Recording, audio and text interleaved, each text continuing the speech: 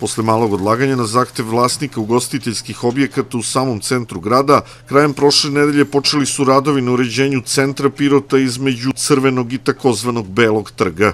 Bio je zahtev vlasnika lokala da se omogući njima nesmetan rad tokom letnjih meseci, jer su imali, dosta, imali su dosta problema u radu i zbog ovaj, korone i zbog tih svih mera, tako da se, kažem, gradska uprava izašla njima u susret, omogućen je taj rad i eto mi smo krenuli praktično početkom septembra.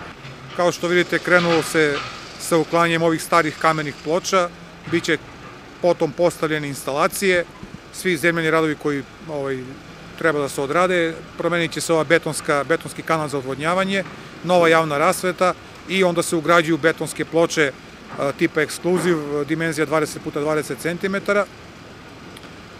Biće postavljen mobiljar, biće i zelenih površina, tako da ovaj, očekujemo da ovaj trg zaista ovaj, zablista Betonske ploče koje se postavljaju su iste kao i na parkingu ulici Branka Radičevića. To je jedinstven projekat, Prvi, prva faza je bila uređenje ulice Branka Radičevića i ono, one pešačke zone.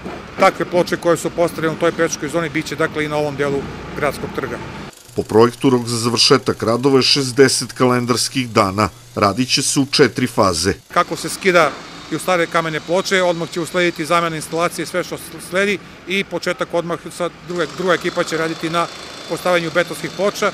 Zaista je ugovorni rok, e, da kažem, vrlo ovaj, ambiciozan i ja očekujem zaista da ovaj izvođač pokuša da ispoštuje sve to i da uz naravno neke, nadam se da ih neće biti nepredviđenih okolnosti, da uspemo da završimo ovu investiciju kako treba. Vrednost investicije 40 miliona dinara sredstva su obezbeđena iz gradskog budžeta. Izvođač radova na uređenju trga u Pirotu je konzorcijum preduzeća iz Ćuprije i Paraćina na čelu sa preduzećem Transkop.